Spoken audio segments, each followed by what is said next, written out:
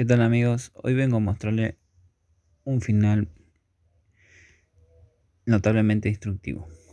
Acá las negras están por coronar el peón de F, este que está acá, pero las blancas no pueden impedirlo porque se ven obstruidos por su peón y bueno, están lejos de, poder alcanzar eso. Pero las blancas acá tienen eh, un método para poder ganar. Espero que lo hayan, eh, pongan en pausa y traten de buscarlo, ¿no? La secuencia ganadora es alfil b8, única.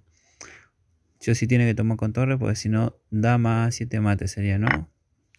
Torre por alfil, rey c7 y tiene que tomar de torre. A la dama, peón por torre, corona al negro, jaque. Y luego que el rey se mueve, jaque mate. Espero que les haya gustado el video. No olviden suscribirse así.